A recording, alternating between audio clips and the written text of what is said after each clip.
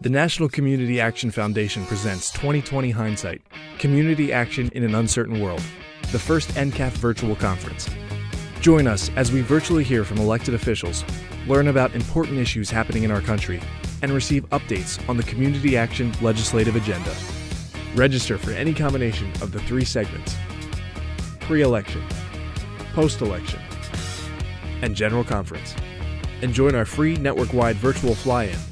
We'll answer your questions about what's going on in DC with experts covering topics like sleeper races, what to expect from a Biden presidency, communicating with Congress in the age of COVID, and other pressing topics. From Capitol Hill, an exciting virtual conference like no other, with guest speakers CNN's Rachel Bitecofer, Bakari Sellers, the New York Times' Astead Herndon, and many more. Join David Bradley and hundreds of our colleagues in a virtual space dedicated to learning, sharing, and interacting with each other, exhibitors, and NCAF. Hello, Community Action. My name is Janice Warner, and I'm President and CEO of the Community Action Commission of Erie, Huron, and Richland counties, located in Sandusky, Ohio. Back in March, I was all excited and preparing for the NCAF conference in Washington, D.C., but we all know what happened then the COVID 19 pandemic. So we had to change and alter the way we did operations. So I was excited at that time. I wanted to hear about the speakers that David was going to have for us. But more importantly, I was excited about the Hill visits and also networking with the Community Action family. Virtual conference is the new norm, and because we attend from the comforts of our home and office.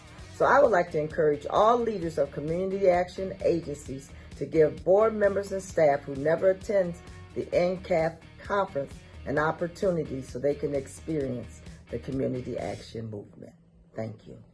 Hello, everyone. My name is Quadea. I'm with the Commission on Economic Opportunity in Northeastern Pennsylvania.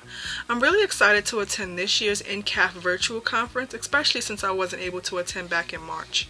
I'm really excited about the post election segment and learning what the election results may mean for the Community Action Network in the coming years.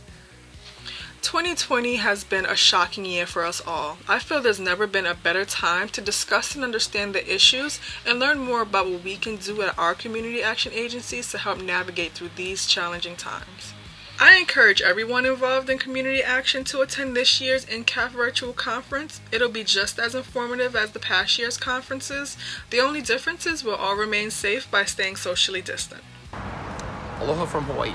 My name is Robert Piper, and I'm the Executive Director and CEO of the Honolulu Community Action Program. I also serve on the Board of Directors for the National Community Action Foundation, proudly serving Region 9 and representing the great states of Arizona, California, Hawaii, Nevada, and the Outer Pacific Islands. My staff and I and our Board of Directors look forward to participating in this year's virtual 2020 NCAF conference. With today's pricing structure, we'll be able to participate in much greater numbers than ever before. We look forward to participating in the conference and staying on top of the presidential and U.S. Senate races both on a pre and post election basis.